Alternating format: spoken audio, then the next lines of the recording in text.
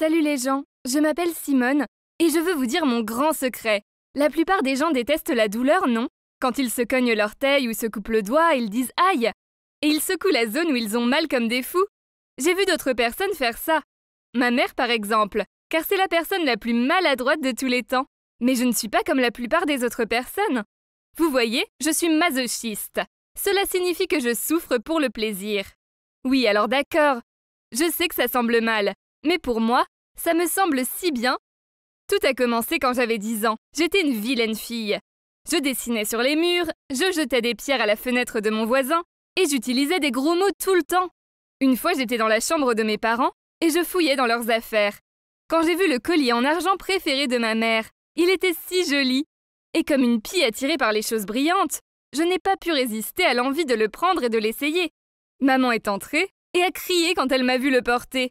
Qu'est-ce que tu crois faire, jeune fille? Enlève ça immédiatement Non, c'est le mien, je me suis agrippée à lui. Maman s'est fâchée et a crié que j'étais une vilaine enfant. Cela m'a mis en colère, alors j'ai arraché le collier, ce qui a brisé la chaîne. Puis je l'ai jeté sur elle en disant Tiens, prends-le. Maman était enragée et m'a giflé très fort au visage. J'ai ressenti une secousse de douleur, alors j'ai couru dans ma chambre. Ça m'a fait mal, mais c'était assez excitant. J'étais trop jeune pour le comprendre. Tout ce que je savais à l'époque, c'est que je trouvais ça excitant. Maman est venue dans ma chambre et s'est excusée. Je suis vraiment désolée de t'avoir giflé, peux-tu me pardonner un jour? J'ai rapidement souri et j'ai dit Bien sûr, c'est très bien. Cela l'a surprise car je lui en voulais normalement. J'ai décidé de me mettre à nouveau dans le pétrin pour voir si mon frisson de douleur était unique ou non. Je suis allée dans la cuisine, j'ai pris une assiette et je l'ai cassée. Mes parents étaient furieux contre moi. Surtout quand j'ai haussé les épaules et que je leur ai dit que je l'avais fait parce que j'en avais juste envie. Mon père a attrapé sa ceinture et m'a fouetté la main. Au lieu de faire le truc normal d'un enfant et de pleurer, j'ai souri. Mon père m'a regardé très bizarrement. Puis il m'a demandé ce qui n'allait pas. Rien. Je suppose que j'aime juste la sensation de douleur. J'ai répondu, comme si ce n'était pas grand-chose. Ils étaient si choqués que ma mère a failli s'évanouir. Elle m'a regardé comme un monstre et a fait un pas en arrière pendant que des larmes tombaient de ses yeux choqués. Elle a réagi de façon excessive. Mon père était convaincu que j'étais définitivement malade. Et ils m'ont immédiatement emmené à l'hôpital et ont exigé de voir un médecin immédiatement. Le médecin n'a pas tardé à découvrir ce qui m'arrivait. Non, je n'étais pas malade. J'étais juste masochiste. Après cela, mes parents ne m'ont plus jamais frappé. Même si je me comportais mal, ils m'enlevaient mon téléphone ou ma console de jeu ils m'ont dit de ne dire à personne que j'aimais la douleur, car les autres ne comprendraient pas. Je n'étais pas stupide, j'avais déjà compris que les autres ne comprenaient tout simplement pas. Il y a eu des occasions où j'ai presque révélé mon secret de penchant pour la douleur. Une fois, j'ai accidentellement fermé mon casier alors que ma main était là. Je couinais joyeusement et je sautais partout. Un de mes amis est venu me voir et m'a dit Tu vas bien? Je leur ai dit que j'allais bien, que je travaillais juste sur la douleur. Une fois à la cantine de l'école, j'ai eu un accrochage avec une fille qui s'appelait Barbara et qui pensait qu'elle était géniale parce qu'elle était pom-pom girl, alors qu'elle était juste une fille méchante, qui était nulle aux entraînements de pom-pom girl. Elle s'est approchée de moi et a commencé à me traiter de tous les noms. Je m'en fichais car je suis tellement excitée quand les gens me font rôtir. Mais j'ai fait semblant de m'énerver et j'ai jeté un pudding au chocolat sur sa tenue de pom-pom girl. Elle s'est énervée et s'est jetée sur moi. Elle a en fait mis ses mains autour de ma gorge. Plus fort Je lui ai dit en toussant. Elle s'est arrêtée et m'a dit que j'étais folle. Puis elle est partie en trombe. Les autres enfants me regardaient dans la confusion. Puis ma seule amie m'a demandé si j'allais bien. J'ai frotté mes yeux pour les faire rougir et j'ai fait comme si j'étais contrariée. Les choses ont changé quand j'ai rencontré Nathan. Il travaille dans mon café local.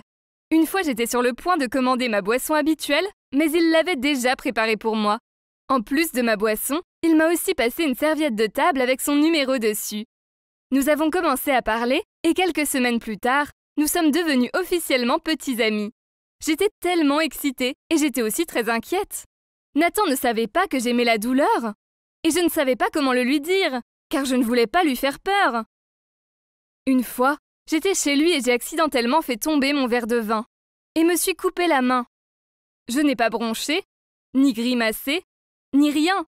Au lieu de cela, j'ai juste souri.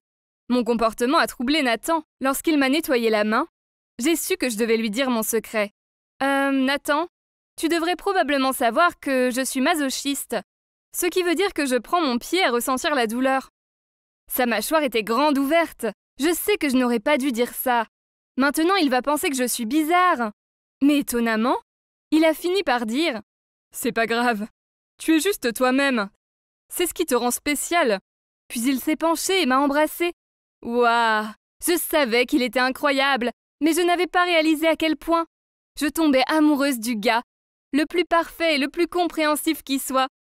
Quelques semaines plus tard, j'étais chez lui à regarder un film romantique quand j'ai entendu frapper à la porte. Nathan l'a rapidement ouvert, en s'attendant à voir le livreur de pizza. Mais non Au lieu de cela, c'était Barbara, la fille qui s'est disputée avec moi. Pourquoi est-elle venue chez Nathan? Qu'est-ce qu'elle fait chez toi? cria-t-elle. C'était déroutant, alors j'ai demandé à Nathan ce qui se passait. Il s'avère que Barbara est son ex-copine. C'était choquant. Comment a-t-il pu sortir avec cette bimbo? Barbara a commencé à nous crier dessus. Elle a dit des choses assez horribles, mais je lui ai juste souri. Puis elle a pris un cadre de photo et me l'a lancé. Ça m'a frappé au visage. Ça m'a fait mal, mais j'ai ri. Ce qui l'a rendue encore plus furieuse. Je vais te tuer, espèce de monstre Elle s'est précipitée vers moi. Nathan l'a attrapée par la taille et l'a tirée hors de la maison. Puis il a fermé la porte à clé et a appelé la police pour la dénoncer. Il m'a demandé si j'allais bien. J'allais bien. En fait, c'était une expérience agréable. Et j'étais étourdie et j'en riais. Barbara a eu de sérieux ennuis. Elle reste maintenant hors de mon chemin car elle sait que si elle me cherche encore, elle finira par obtenir une ordonnance restrictive et devra changer d'école. Il n'est pas surprenant que je n'ai plus eu de problème avec elle depuis, à part le regard étrange et sale. Mais peu importe. Merci d'avoir écouté mon histoire. J'aime peut-être la douleur, et je sais que c'est bizarre. Mais peu importe. N'est-ce pas? Que pensez-vous de mon histoire? Ressentez-vous la douleur tout comme moi? Laissez-moi un commentaire. J'aimerais beaucoup les lire.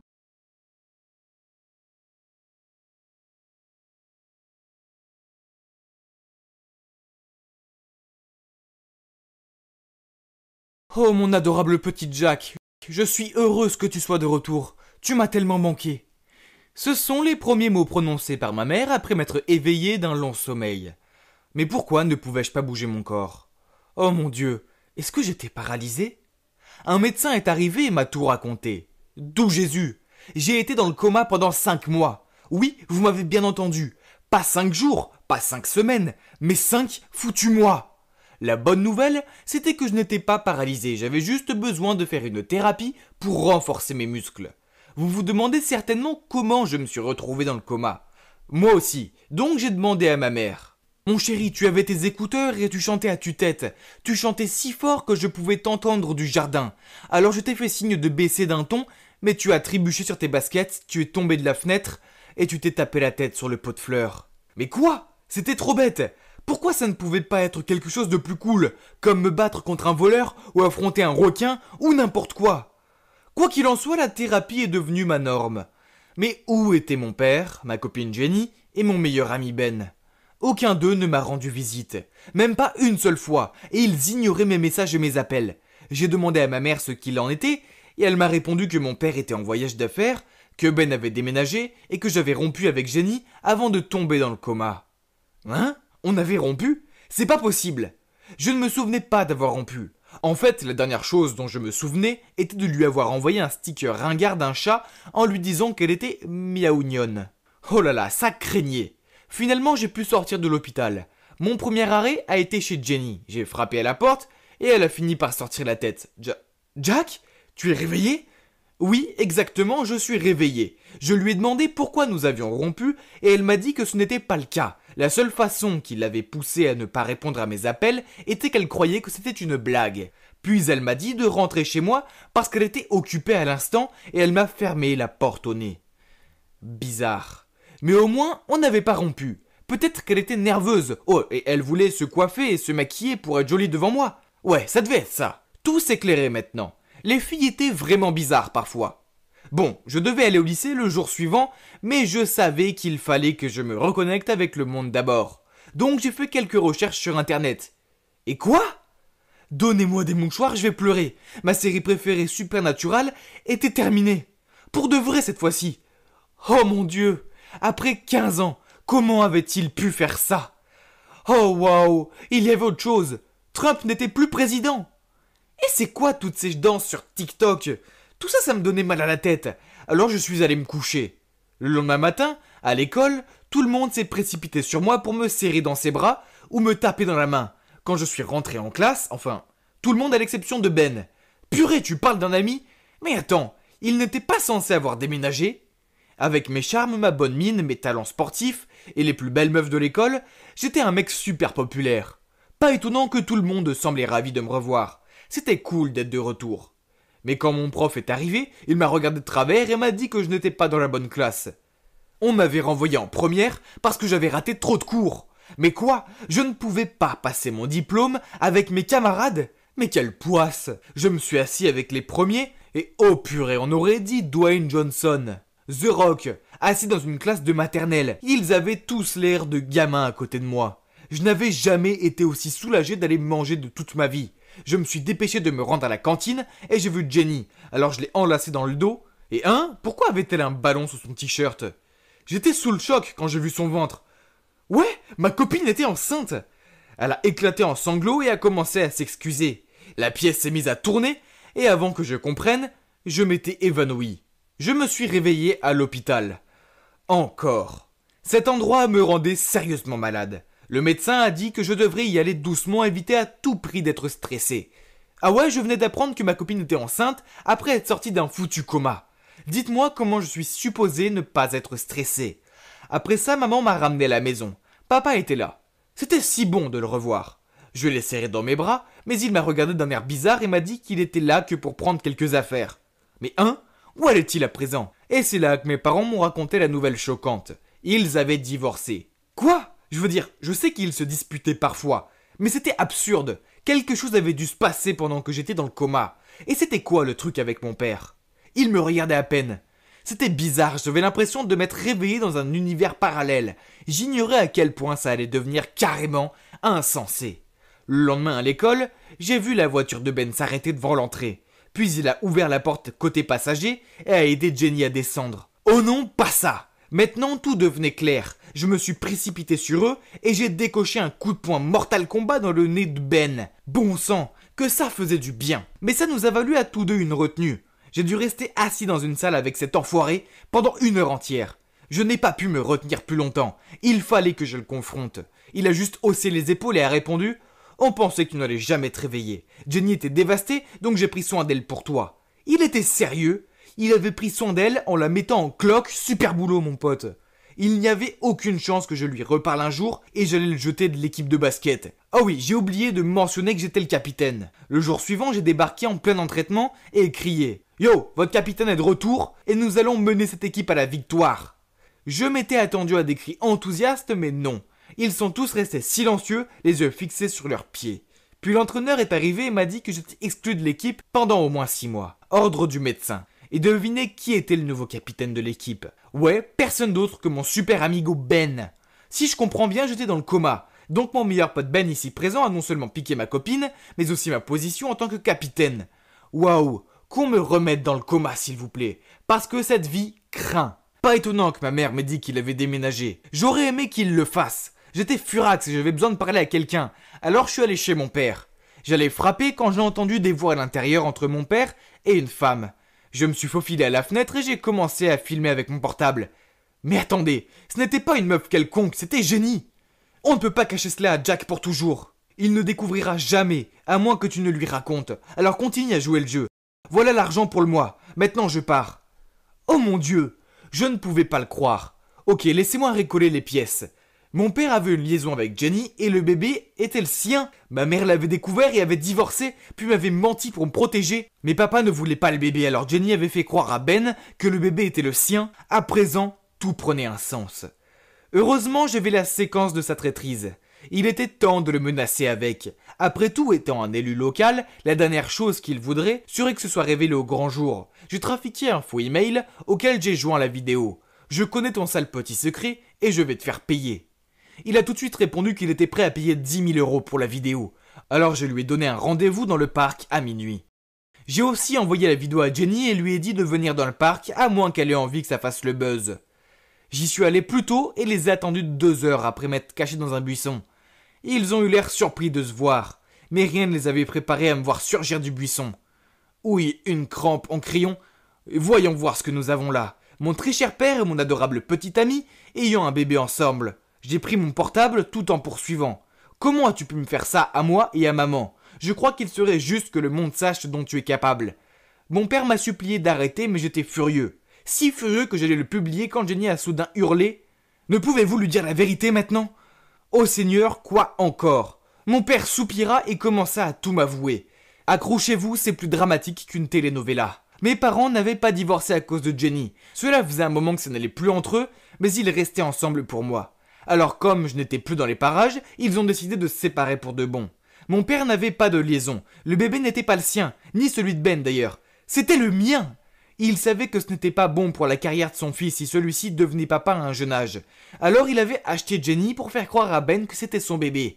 Oh mon dieu, j'étais entouré de tarés. C'était trop pour moi. Alors je suis parti en courant, je me suis enfermé dans ma chambre pour essayer de faire le lien. Être dans le coma, ce n'était pas cool. Mais le pire, c'est que tous les gens à qui je tenais m'ont trahi ou m'ont menti.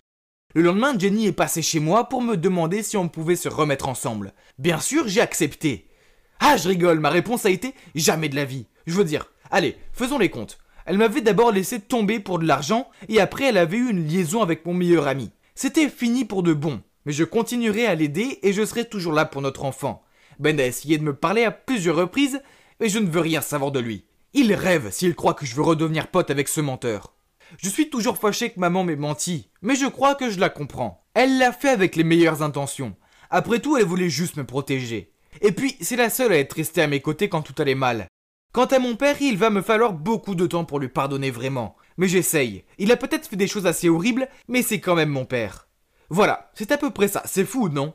Le coma m'a tout pris, mais ça m'a aussi permis de voir le vrai visage de mes proches. Maintenant, j'ai décidé de suivre deux règles. 1. Faire super attention à qui j'accorde ma confiance. Et 2. Ne jamais plus chanter près d'une fenêtre ouverte.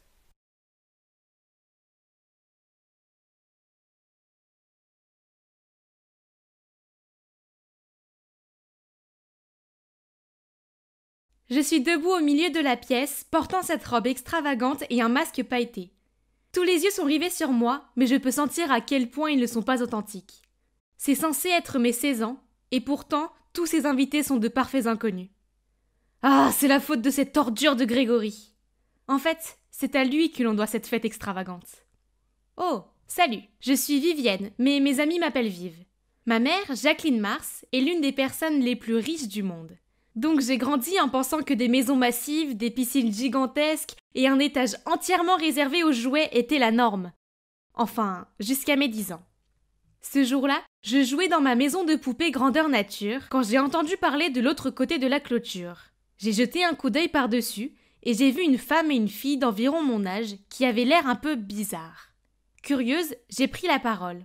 Et vous Pourquoi vous êtes habillée si bizarrement Pardon?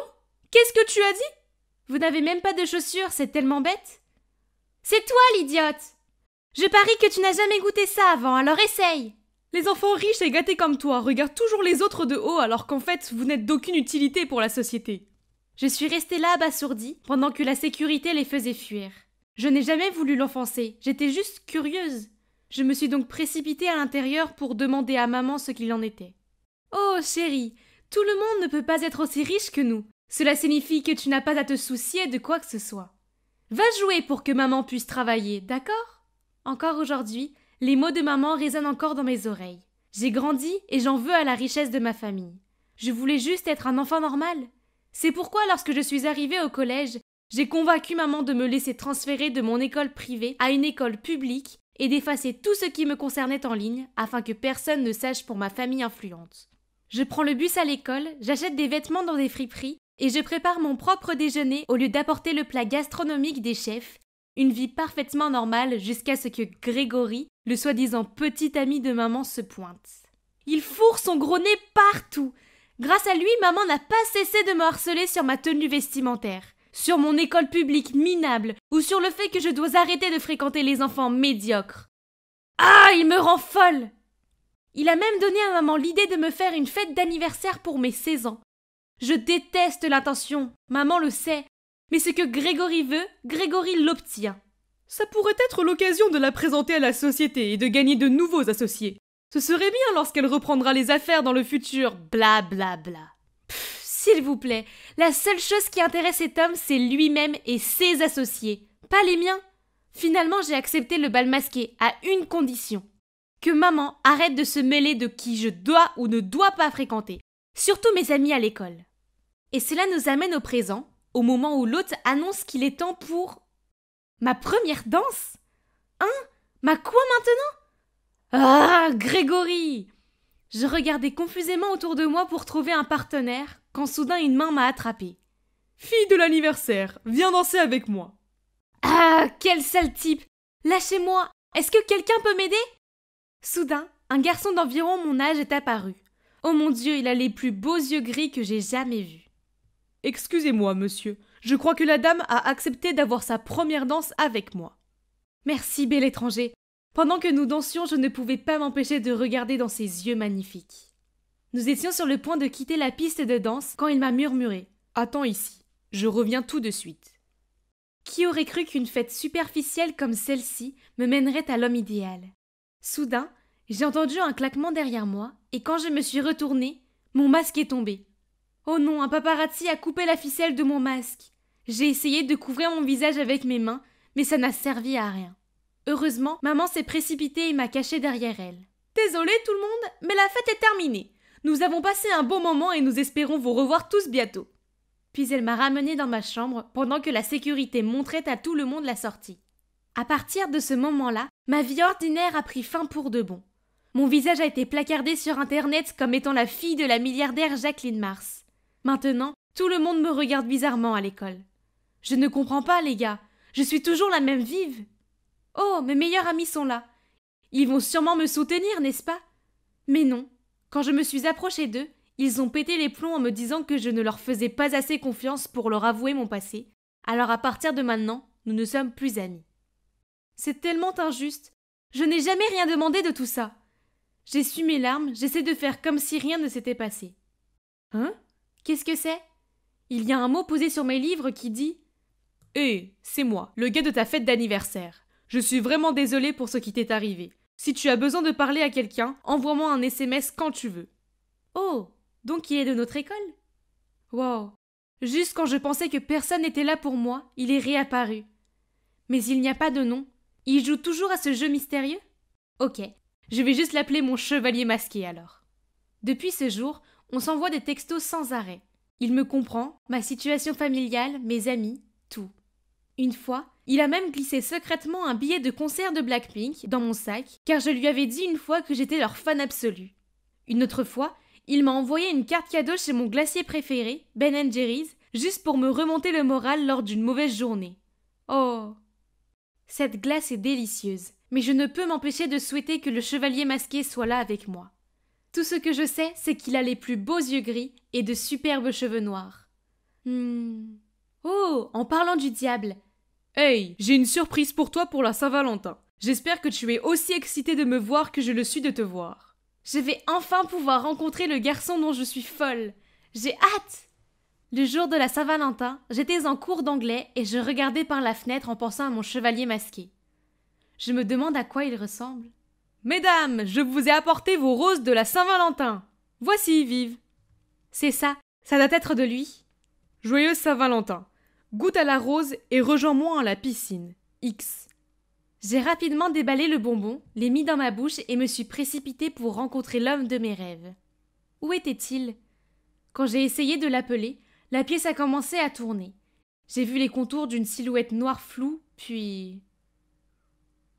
Oh Ma tête me fait mal. Où suis-je? Et à qui est la main que je tiens?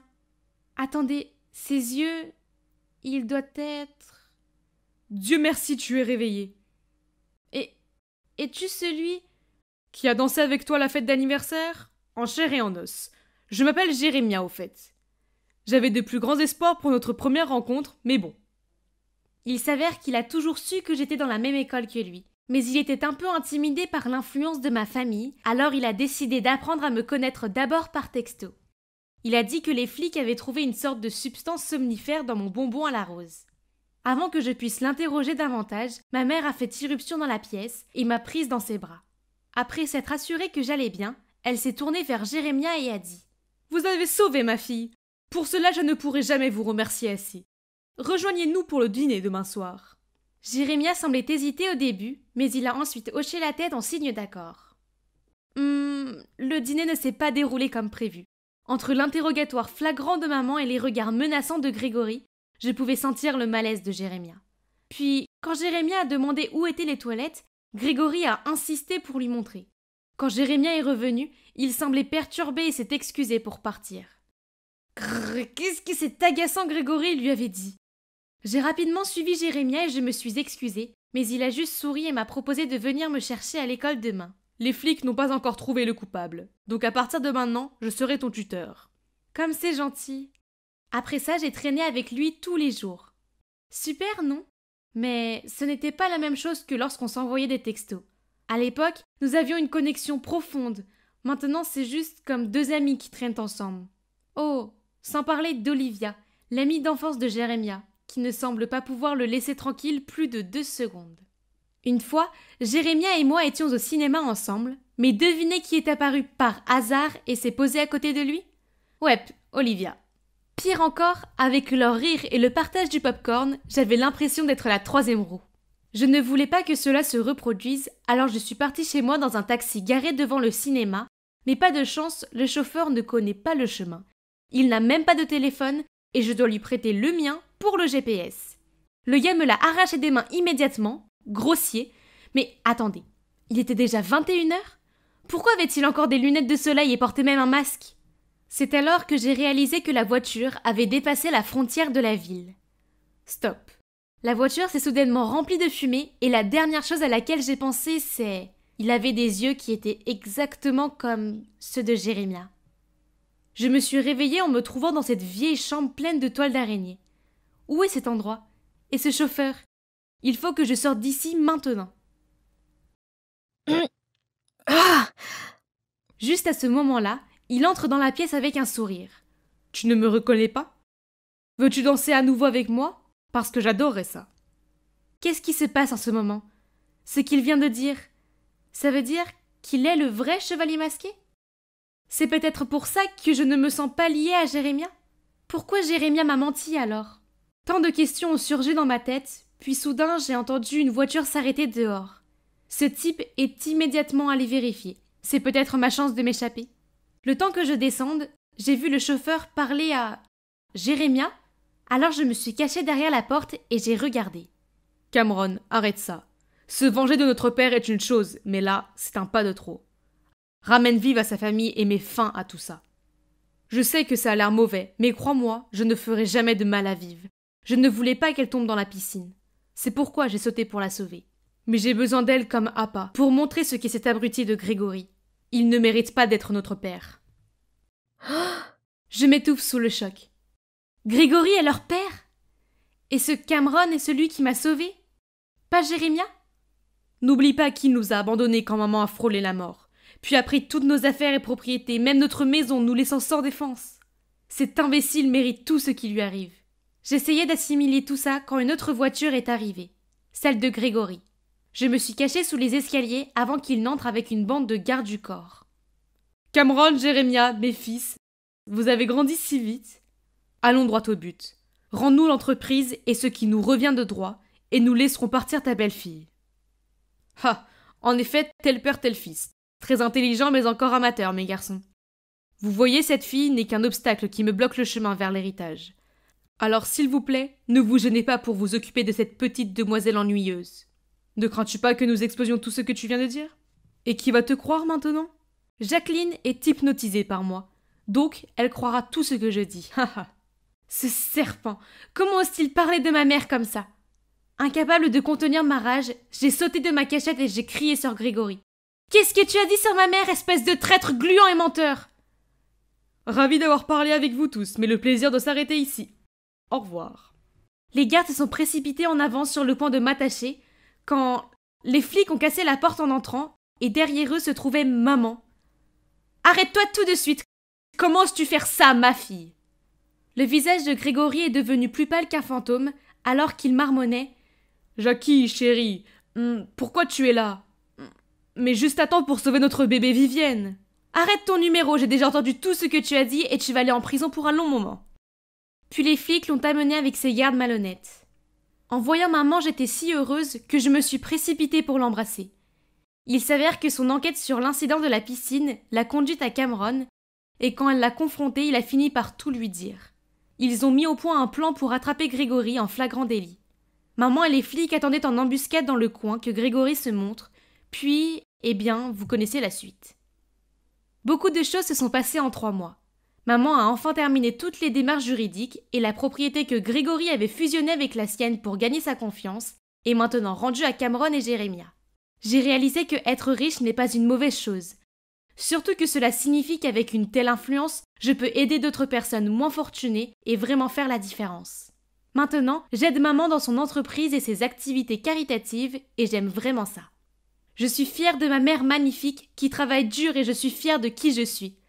Et devinez quoi? J'ai maintenant de vrais amis qui m'aiment pour ce que je suis. Quant à Jérémia, eh bien, il s'est excusé pour tout. Il avait peur que son frère me fasse du mal, alors il a menti pour me protéger. On s'est réconciliés et devenus les meilleurs amis du monde. Je ne suis pas sûre de pouvoir en dire autant de son frère. Il a fait tout ce qu'il a pu pour me demander pardon, mais je ne peux pas. Puis un jour, Jérémia m'a demandé de passer chez lui pour rendre visite à sa mère. Elle m'a supplié de ne pas penser du mal de ses garçons, surtout de Cameron.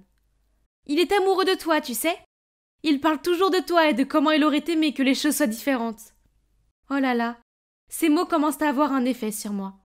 Quand je suis sortie par la porte, j'ai vu Cameron assis sur le porche. Il s'est retourné et m'a regardé, et j'ai senti mon cœur battre pour mon chevalier masqué aux yeux gris. Alors, en prenant une profonde inspiration, je suis allée vers lui au moment où le soleil se couchait.